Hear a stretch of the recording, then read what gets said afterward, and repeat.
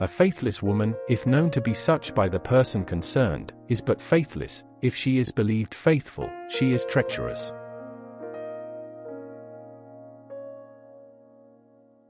In the world there are only two ways of raising oneself, either by one's own industry or by the weakness of others.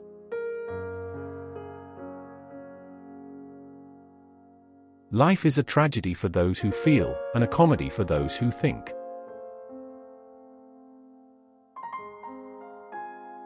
False modesty is the last refinement of vanity.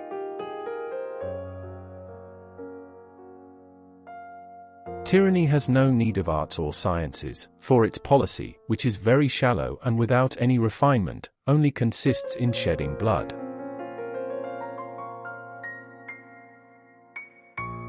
Nothing resembles today so much as tomorrow.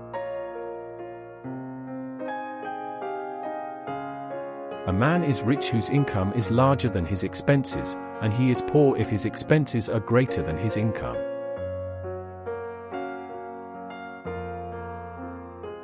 It is a fool's privilege to laugh at an intelligent man.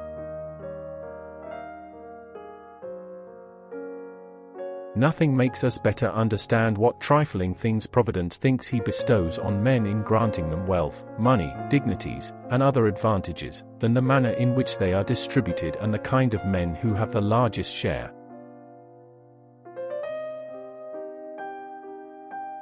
If poverty is the mother of all crimes, lack of intelligence is their father.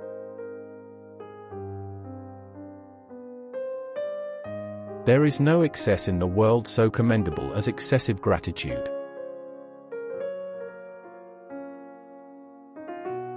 Friendship can exist between persons of different sexes, without any coarse or sensual feelings.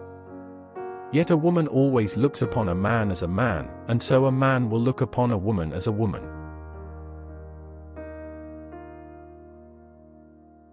It is no more in our power to love always than it was not to love at all.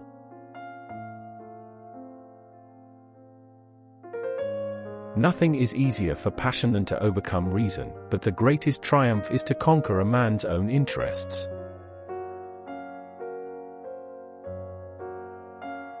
A man who parades his piety is one who, under an atheist king, would be an atheist.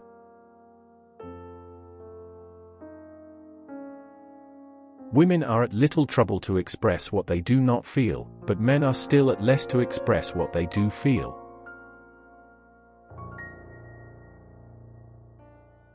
Among some people arrogance supplies the place of grandeur, inhumanity of decision, and roguery of intelligence.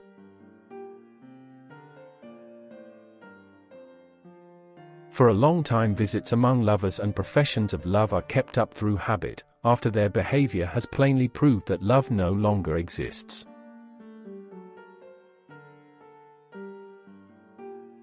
Sudden love takes the longest time to be cured.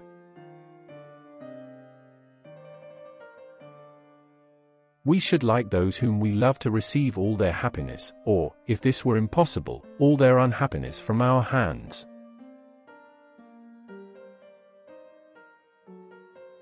The most accomplished literary work would be reduced to nothing by carping criticism, if the author would listen to all critics and allow every one to erase the passage which pleases him the least.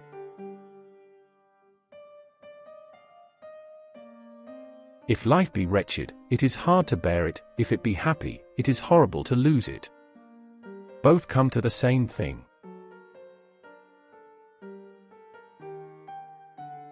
Nothing keeps longer than a middling fortune, and nothing melts away sooner than a large one.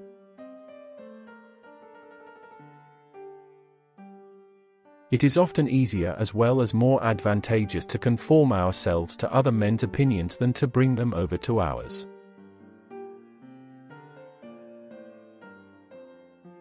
It is weakness which makes us hate an enemy and seek revenge, and it is idleness that pacifies us and causes us to neglect it.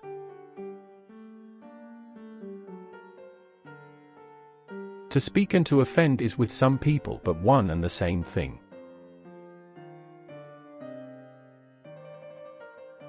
To how many girls has a great beauty been of no other use but to make them expect a large fortune?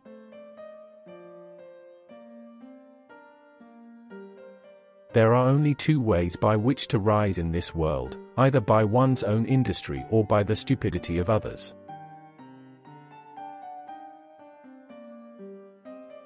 The same principle leads us to neglect a man of merit that induces us to admire a fool.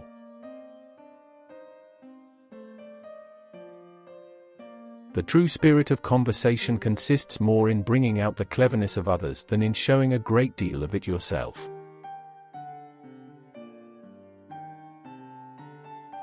When we lavish our money we rob our heir, when we merely save it we rob ourselves.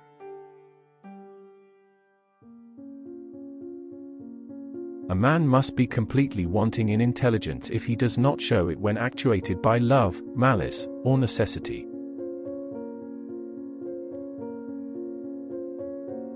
The same common sense which makes an author write good things, makes him dread they are not good enough to deserve reading.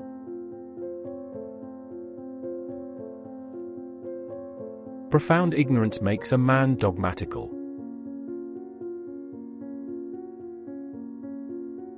The same amount of pride which makes a man treat haughtily his inferiors, makes him cringe servilely to those above him.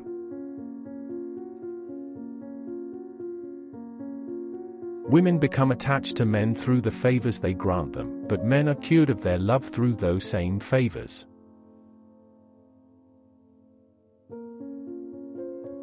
It is fortunate to be of high birth, but it is no less so to be of such character that people do not care to know whether you are or are not.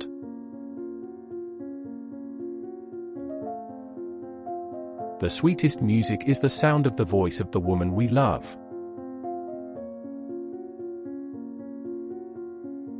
When a woman doesn't take her eyes off a man or takes them away from him all the time, everyone immediately understands what it means.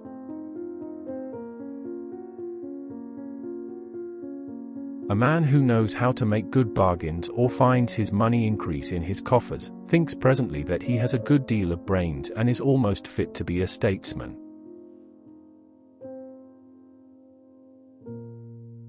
To bewail the loss of a person we love is a happiness compared with the necessity of living with one we hate.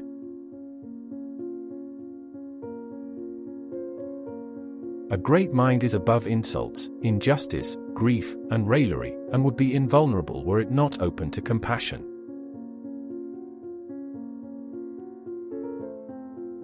There are few wives so perfect as not to give their husbands at least once a day good reason to repent of ever having married, or at least of envying those who are unmarried.